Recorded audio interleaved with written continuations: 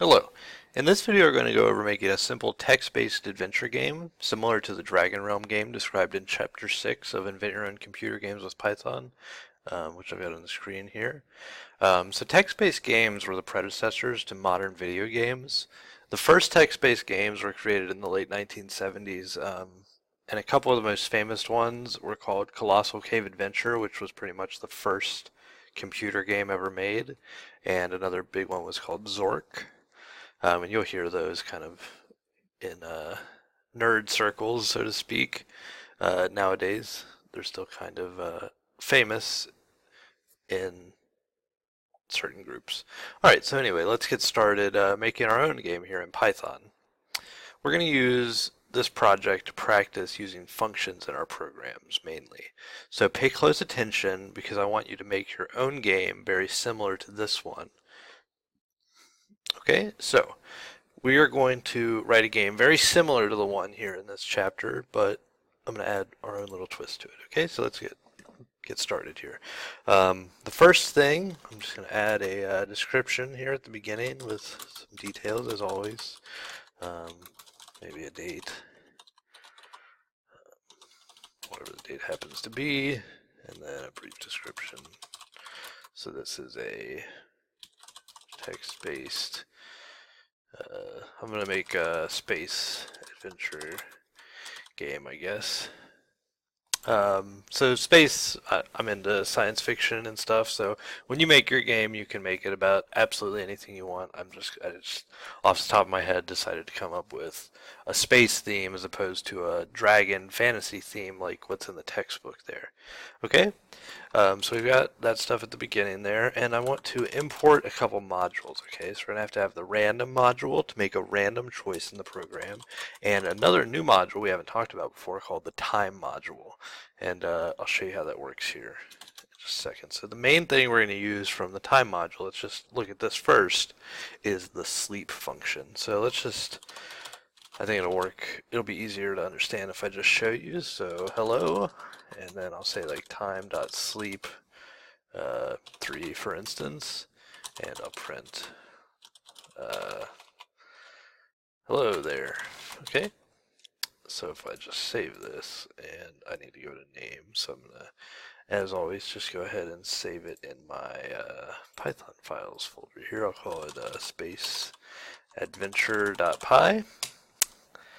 Um, and again, you can do anything you want. You don't have to do space or dragons. You can do whatever whatever you like. Okay, so if I save this and then run it, we'll see what happens down here in the shell. So it says hello, and then it's waiting, waiting, waiting, and then it says there. So I'll do that one more time so you see. So hello, wait, wait, wait, wait, wait, there. Okay, so what the sleep is doing is just saying, okay, sleep for three seconds. So just wait don't do anything for three seconds and then continue running the program, okay? So I just want to introduce you to this here. It can be useful in a variety of ways. We're just going to use it kind of in this simple way in the uh, in the game here. Um, we're going to use it to kind of build suspense when when we're printing out messages to the to the player, okay? So that's how that's going to work. Um, nothing too fancy there. Okay, so hopefully that's not too hard to understand. If you put a different number here, like uh, five instead of three, it would wait five seconds before doing the next thing. Um, I think we'll just go with two seconds most of the time because you don't want to want it to be too long or it's just kind of too much. Okay, so um, we're going to use functions to break up our our program into related pieces of code. Okay, so the first thing I want to do here is define a function using the def keyword to display um, an intro to the game. And this is just, all this is going to do is print out um, like some introduction message. So I'm just going to kind of come up with this off the top of my head. Um, is the end of a, the end of a long year of uh, fighting space criminals. Okay, and uh, this is just going to kind of be silly because I'm coming up with it off the top of my head. Um, say like you come to a crossroads on your trip home. Not trip. Trip home. Uh, one path leads home. Let's say where you will be handsomely rewarded for a job well done. Okay. And the other leads, uh, let's see, what, what are we to do? What's, what's to be something bad, something spacey? Um, I'll say leads through a gamma ray burst that will disintegrate. Uh, I spelled that wrong, I think. Disintegrate you. Okay, so gamma ray burst is uh, kind of a astrophysical phenomenon where a something like a star going supernova emits a bunch of radiation. So that's going to be kind of in the dragon game. The options are you go into a cave, or a dragon gives you gold, or it eats you. So I've got a similar situation where you're either going to get rewarded by all of your fans when you get home, or you're going to accidentally walk through this gamma ray burst that's going to uh, kind of blow you to smithereens or something like that, okay? Um, and then I'll do one more print with nothing just to print out a blank line. So I space things out and make it look nice, okay? So this function is just going to display an intro to the program. It doesn't do anything fancy at all, okay? It's just, uh, let's see, five print statements here. Um, so this is should be very familiar stuff by now. So if I say display intro, um, right now all it'll do is I'll save my file and run it. It's going to come down here and it's just going to print out these things, each one on its own line. Okay. And I just did that, each one on its own line, because if I did it all on one line, it wouldn't really fit on the screen and it would be harder for you to read. But you could just do it all in one print statement too if you want, that would be fine. Okay, so we're going to want to display the intro. But uh, one thing, remember that all of my functions should be at the beginning, because if I tried to go up here and display intro before I define it, so if I run this, um, I'm going to get an error. See down here it says name display intro is not defined. That's because I'm using this before I define it. Remember the order of execution in your program, you start at the beginning and go you know, one instruction after another. So in this case, I'm saying import these modules, display intro, and then define what display intro means. But I tried to use this before I defined it, so that doesn't make any sense. So usually the best practice is just to put all of your functions, so the order of things in your file, you can have comments at the top like this if you want, but those aren't required, and then any import statements you want, those go next, and then all the functions you want to define. This is the best way to lay out your file, okay? So import statements, then define all your functions, then you can do code which uses the functions you defined uh, beforehand, okay? So again, it, it's just like using a variable. I can't say like print a, a equals 5, um, so if we try and run this, this will also give me an error for the same exact reason that saying display intro before I define display intro doesn't work. It says A is not defined because I tried to print A before I told the computer what it meant. So if I did A equals 5 and then print A, um, of course that's very familiar to us by now. That's pretty simple. It defined it and then it understands what A means by this point. So it's the same situation with functions. Nothing too complicated, okay? So I'll leave the display intro, but now I want to do some other stuff. Um, present them with a choice, for instance. So I'm going to define another function called choose path. Uh, okay. And I'm going to say, I'm going to have a their answer, and I'm going to store it in a string called path, and I'm just going to set it equal to nothing. So this would be, I could put like a string, like apple or something here, but just before they tell me what their choice is, I'm just going to make it nothing. And I'll show you why I want to do that here um, now.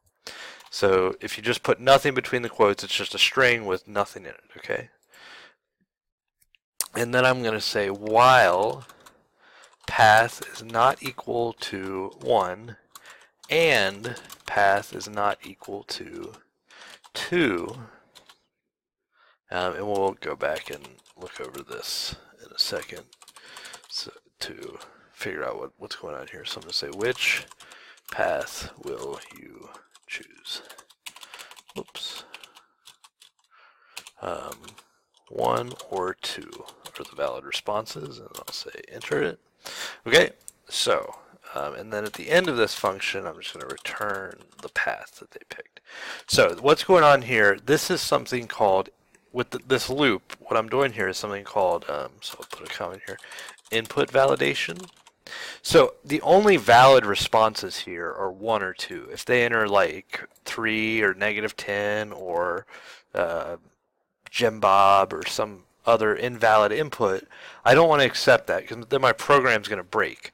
So generally when you actually design an application or something that you're going to have people in the world use, you do stuff like this. This is a very simple case. Usually it's much more sophisticated than this. But the idea is you do things to prevent them from entering uh, garbage values that will break your program, that don't make any sense, okay? So what I'm doing here, I'm setting path equal to nothing to begin with and then I'm saying while path is not equal to 1, which it's not right now because it's just equal to nothing. So nothing is not equal to 1. This expression here is true. And path is not equal to 2. That is also true. Nothing is not equal to 2. And then inside the loop, I say update the value of path to whatever they input when I prompt them for what path they want to choose. And then say they entered 3 for instance, it would go back to the beginning of the while loop and it would check if this is still true or not. So if they entered 3, then 3 would still not be equal to 1 and 3 would not be equal to 2. And so it would go back in and prompt them again. But then if I said 1 at that point, or if I said 2, let's say I said 2 for instance, so it's a little bit clearer. So if I said 2, then that would update the value of the variable path to 2, and I'd go back to the beginning of the loop again and say, is 2 not equal to 1? Well, that's still true. 2 is not equal to 1. But this part is false. True is equal, or 2 is equal to 2. So this whole thing is false. Um, and we haven't talked much about these. We'll come back to these later. Um, this thing here, when I say these, I mean this thing here, and.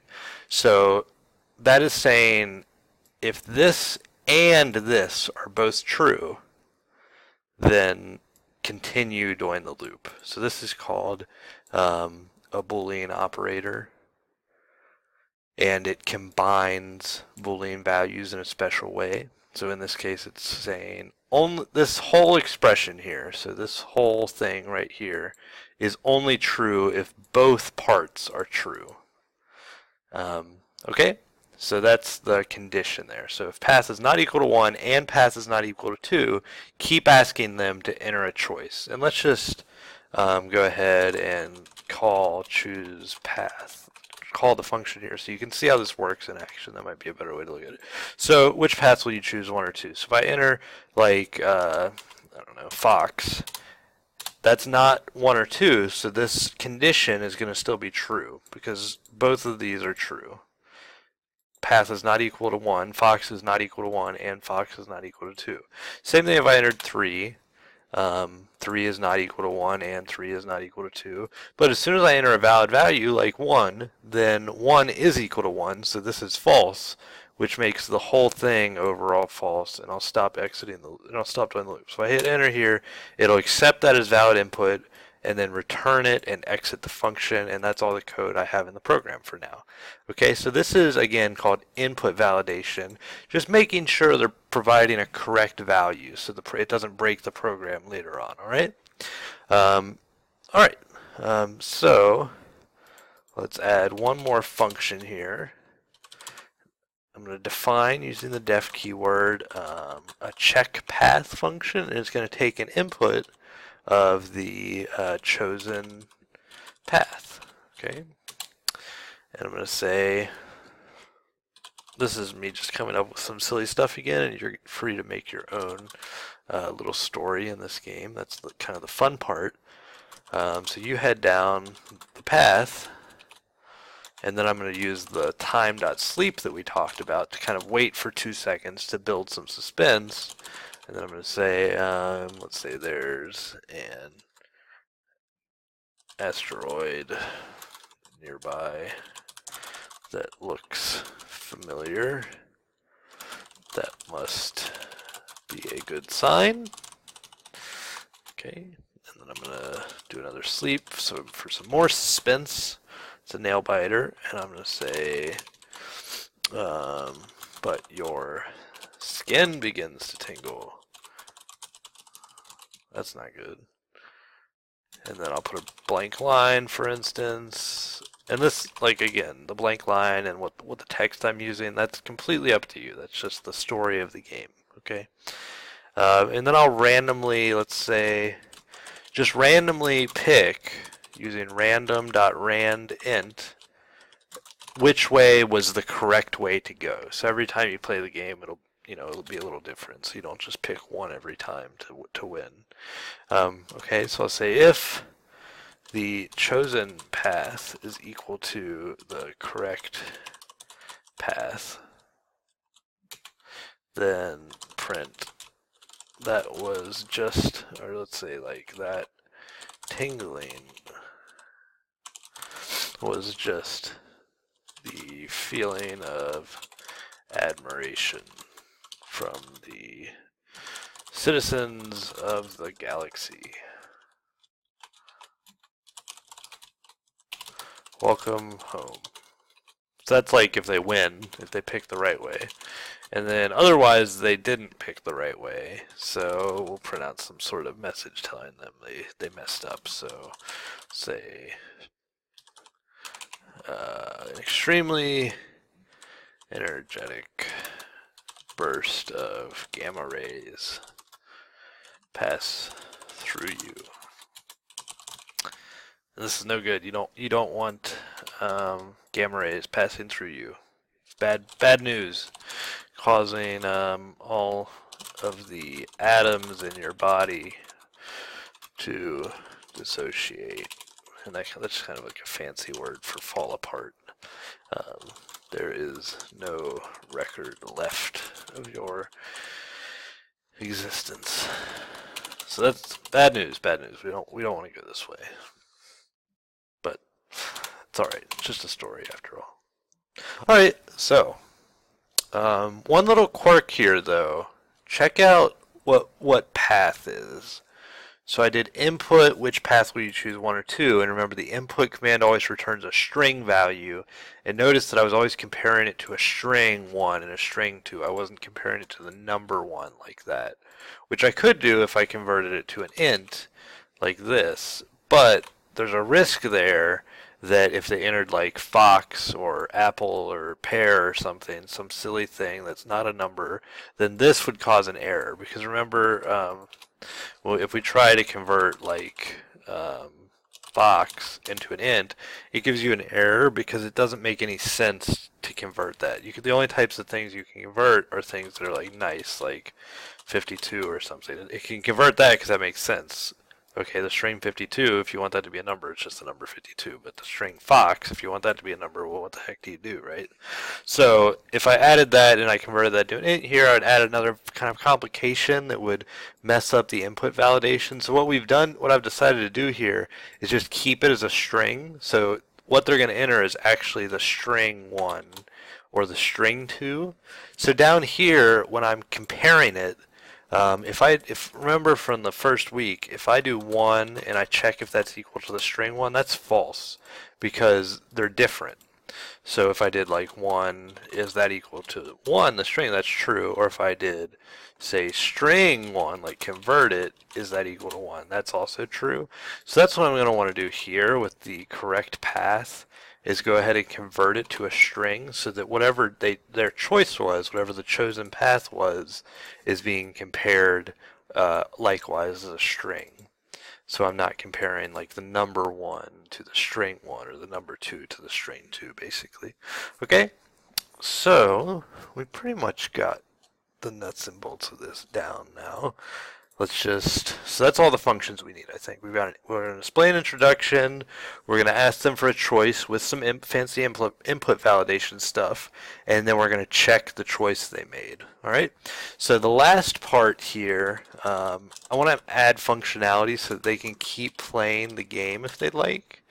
So I'm going to make a variable called play again, and I'm going to set it to equal to yes at the beginning, and I'm going to say while play again is equal to yes, or play again is equal to y, for instance. Um, and I could do other stuff too, but I'll just do these two for now. Then go ahead and display the intro and have them choose the path. And let's see, remember choose path returns a value, right here we see it says return path. So it's going to send that once this once they've chosen their path, it's going to send back their choice, either one or two. Um, so I'm going to go ahead and store that in a variable called choice. So when this code is finished executing, it's going to return to this calling statement here and assign whatever choice they made to the variable choice in this case. And then I'm going to use my check path function for that choice. I'm going to say check path and then the input to that function here will be it's called the parameter is called chosen path but I'm going to input choice and remember that's going to be so choice um, equal um, is equal to one or two right? All right um, and then at the very end here I want to say play again equals and then I'm going to ask do you want to play again? I'm going to say yes or Y to continue playing. Okay, just like this. So what I did here, it's kind of like the input validation loop, but it's a little different. So this is if I want to just keep a program running until someone stops. This is like the Sentinel controlled loops that we talked about previously. So we've got play again as a variable, and I just set it to, remember, none of this code up here is going to run until I call the functions. So this is just defining functions. This doesn't do anything. What does stuff is when I actually call those functions that I defined on these lines here. So once I get done defining those functions, the first line of this program that actually executes is this one here, where I say play again equals yes. And then I say while play again equals yes or play again equals y, do this code here. So the first time through, it is going to equal yes because I assigned it the value yes. And so the first time I run this program, it's going to display the intro, it's going to prompt the user to choose the path, and it's going to store whatever choice they made in a variable called choice. And then it's going to check that choice using the check path function. And then it'll tell you whether you won or lost. And then we'll ask, do you want to play again? Enter yes or Y to continue playing. And once they do that, once they answer this question here, whatever they answered will be stored in the variable play again. It'll overwrite this yes that was there to begin with. So we'll go back to the beginning. If they entered no or carrot or fox or 45 or whatever that's not yes, then this won't be true because this is very this is another boolean operator that's similar to the and but it works kind of the other way, kind of like you'd expect. It checks whether this is true or if this is true. Whereas AND checks whether this and this are both true. Um, and you can, I definitely want you to read about this in the Invent Your Own Computer Games with Python textbook. It goes into a lot of detail with these Boolean operators and what are called truth tables to kind of lay out for you how that works. Um, but I just want to keep this video a little shorter to the point here, so we won't I won't go into all of that. But definitely go check that out if you're a little confused about how these AND and OR operators are working. It's just combining Boolean expressions in a in a way that makes a lot of sense with the way we think of the words and and or in English. So um, anyway, what's going on? So if they entered something that's not yes or y, um, then this will not be true, and so you'll stop, and you there's no after that you'll just go, okay, well that's not true anymore, so I don't execute the loop body again. So just go to this line after the loop. Oh, there's nothing there, so end the program. All right, let's just go ahead and check it out and see uh, how our game works. So, it is the end of a long year of fighting space criminals. You come to a crossroads on your trip home. One path leads home, where you will be handsomely rewarded for a job well done, and the other leads through a gamma ray burst that will disintegrate you. What path will you choose? I'll choose path number two. You head down the path, and then here's where the sleeping is happening. There's an asteroid nearby um, that looks familiar. That must be a good sign, but your skin begins to tingle. Oh, and then we got an error. So it looks like I... Uh, oh, I forgot to... Uh, oh, I didn't even want this. Why is that there? Oh, I guess I do. Yeah. So we just want to sleep one more time. I forgot to tell it how long to sleep for, and that's what this error is there. So sorry about that. Let's just uh, run it again. And that's, you know, as you develop more complicated programs, you'll run into these little bugs that you have to go back go back and fix. You'll make a little mistake here and there. So uh, same thing. I'm going to choose path two again. So you head down the path. Uh, there's an asteroid belt nearby that looks familiar. That must be a good sign. But your skin begins to tingle. An extremely energetic burst of gamma rays uh, pass through you, causing all of the atoms in your body to dissociate. There is no record left of your existence. Do you want to play again? Yes or Y to continue. So if I just enter uh, yes here, then it's going to start again. So same thing, I can choose that path, yada yada yada. Um, okay, let's see if I win this time. Aha! So we won. Uh, that was the admiration of all the citizens of the galaxy at that time. So this time, if I enter no, or really anything that's not yes, and press enter, then I'll exit the program because this loop condition here will not be true anymore. So this has been a, uh, a walkthrough of how to write this uh, well, not this, but any kind of simple text-based game. And there's lots of ways you can make this more interesting and more complicated. Instead of ha just having one choice here, you could have multiple. So you could do a, a similar thing where you do uh, more choices. So if you if you choose one here, then you get these two choices after that, or if you chose two, then you get these other two different choices. Um, you can make it more and more complex and kind of build on it. Um, that's what I want you to kind of do in your own game is come up with your own story first of all. Um, if you want to do something like a dragon adventure or a space adventure, or you could do, you know, anything you want, underwater adventure or something, uh, just any kind of interesting story. So it's kind of fun for me to look at what you did.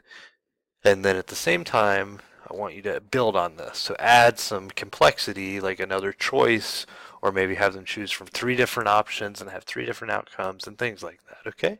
So I hope uh, you've had some fun learning how to make this uh, simple kind of game. And you can write your own program now. So there's going to be files to help you get started on this. You can get this file and a couple others, um, including the Dragon Realm file from the textbook. Uh, you can download one of the, those and use as a starting point, or you can just start from scratch. Um, so your game should involve hopefully at least two decisions, like I was talking about, not just like the one, like I have here. Um, but it's okay if the game can end after just one decision, like the dragon eating you or the gamma rays gamma ray burst hitting you, but it should be possible, hopefully, to reach one more decision if you chose correctly on the first one, if that makes sense. Um, and also in your game, you should use the time.sleep function in some way, and you should define functions like I did to group related bits of code together, like displaying the intro or asking the user for their choice.